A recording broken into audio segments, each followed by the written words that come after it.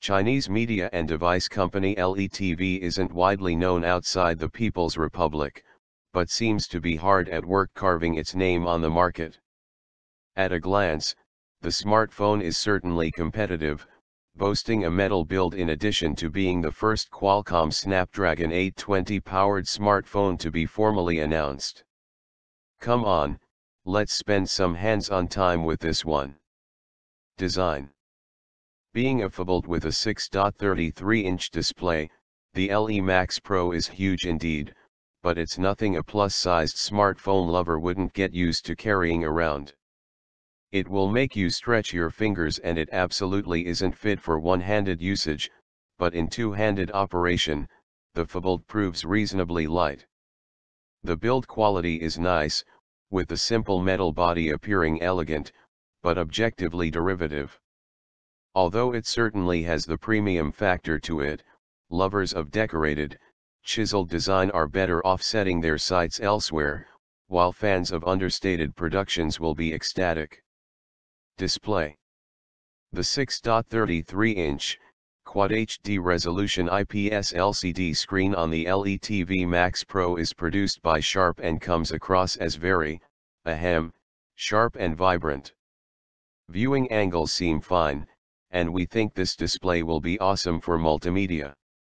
We can't get a feel for color reproduction at the show floor, but we didn't notice any glaring flaws either.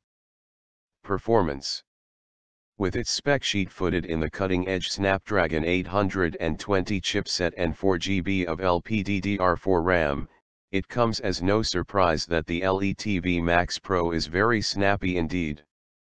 The smartphone runs Android 6.0 Marshmallow, topped off with LETV's custom skin, which comes across as very clean and straightforward, but more than a little inspired by iOS 9.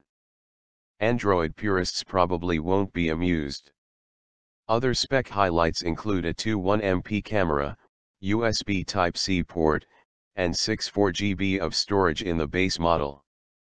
A valuable addition to the LETV Max Pro's feature set is Qualcomm's Sense ID ultrasonic fingerprint scanner.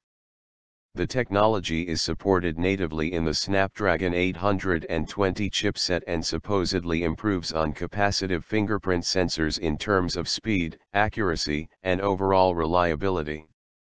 Most notably, Sense ID creates a 3D image of the user's fingerprint, rather than the surface-level impression captured by capacitive, it scans through common contaminants like sweat, lotion, and condensation, and scans through most device materials, such as glass, aluminum, steel, sapphire, and plastics, which will give manufacturers even more design freedom.